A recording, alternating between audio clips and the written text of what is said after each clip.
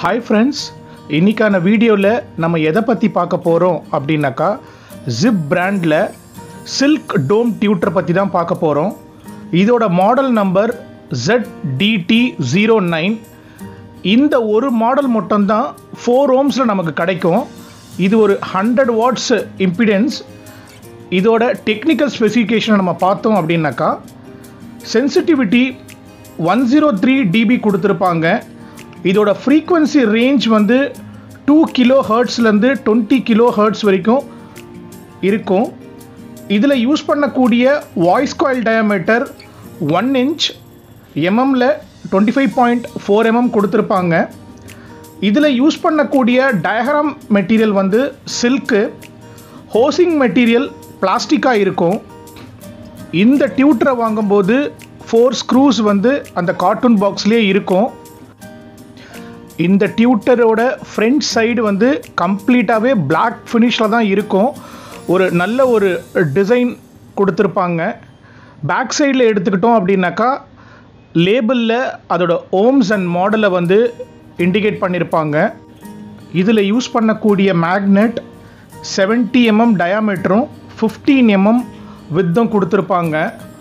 Mostly என்கிட்ட viewers கேட்குற question என்ன அப்படின்னாக்கா எயிட் ஓம்ஸ் டியூட்டருக்கு ஃபோர் ஓம்ஸ் ஊப்பரை யூஸ் பண்ணலாமா அப்படின்னு என்கிட்ட கேட்குறாங்க அந்த மாதிரி நீங்கள் யூஸ் பண்ணும்போது உங்களுக்கு என்ன ப்ராப்ளம் வரும் அப்படின்னாக்கா ஃபோர் ஓம்ஸ்லேருந்து அதிகமான சவுண்டும் டியூட்டர்லேருந்து கம்மியான சவுண்டும் உங்களுக்கு வரும். நீங்கள் ரெண்டுமே ஒரே ஓம்ஸில் யூஸ் பண்ணும்போது உங்களுக்கு கரெக்டான சிக்னல் வந்து வரும். அதனால் எப்பயுமே டியூட்டரும் ஊஃபரும் ஒரே ஓம்ஸில் யூஸ் பண்ணுங்கள் கரெக்டான ரிசல்ட்டு உங்களுக்கு கிடைக்கும். ஒரு வியூவர் என்னோடய வீடியோவுக்கு கமெண்ட் போட்டிருந்தாரு. மெட்டல் டோம் டியூட்டருக்கும் சில்க் டோம் டியூட்டருக்கும் கம்பேரிசன் வீடியோ போடுங்க அப்படின்னு சொல்லியிருந்தாரு. மெட்டல் டோம் டியூட்டருக்கும் சில்க் டோம் டியூட்டருக்கும் என்ன வித்தியாசம் அப்படின்னாக்கா மெட்டல் டோம் டியூட்டரில் சவுண்ட் ரொம்ப ஹார்ஷாக வரும். ரொம்ப பிரிட்டில் அண்ட் மெட்டாலிக்காக இருக்கும். சில்க் டோம் டியூட்டரில் வந்து பார்த்திங்கன்னா சவுண்டு வந்து ரொம்ப ஸ்மூத்தாக நமக்கு இதில் கிடைக்கும்.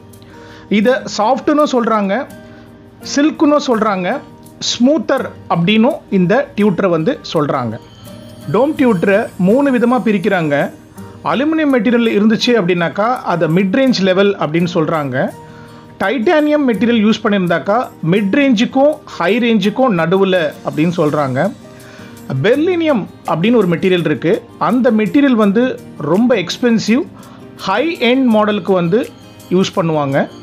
உங்களுக்கு எந்த விதமான லெவல் டியூட்ரு வேணுமோ அதை யூஸ் பண்ணி கமெண்ட் பாக்ஸில் உங்களோட எக்ஸ்பீரியன்ஸை ஷேர் பண்ணுங்கள் தேங்க்ஸ் ஃபார் வாட்சிங் மை வீடியோ நெக்ஸ்ட்டு ஒரு யூஸ்ஃபுல்லான ஒரு இன்ஃபர்மேஷனோட உங்களை மீட் பண்ணுறேன் பாய்